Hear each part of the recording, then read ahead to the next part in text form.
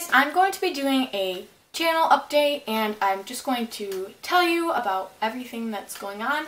So I will be now showing my face on my YouTube channel in like outfit of the weeks and vlogs and maybe do some tags with the CJ way and her links will be down below. And so that's all I wanted to share with you and make sure to comment down below video ideas for next week and I will definitely make sure to do them.